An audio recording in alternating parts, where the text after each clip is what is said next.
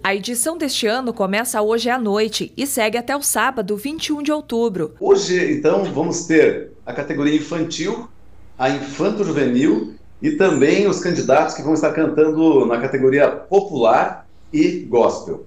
Amanhã, a categoria sertaneja. Sempre a categoria que nós temos mais inscritos. Nós temos aí é, cinco vezes mais inscritos no sertanejo do que nas outras categorias. Hoje serão selecionados 20 candidatos e amanhã mais 10. Nas três noites pretendemos começar a partir das 19h30 horas para que não se estenda até muito tarde, principalmente porque temos as crianças, né? O infantil nosso começa com 8 anos até 11, aí 12 anos a 15 o infanto juvenil, e aí após os 16, então, os candidatos já estão inscritos na categoria adulto.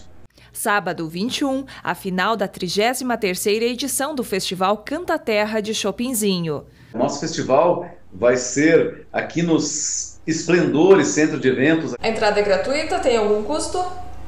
Sim, sim, completamente gratuita todos os dias. E lembrando que no sábado, depois do festival, vamos ter também aí um baile, né? Então é um evento assim para toda a família estar vindo. Nos festivais a gente tem repertórios é, lá da década de 30, 50, enfim, que vai agradar a todas as idades.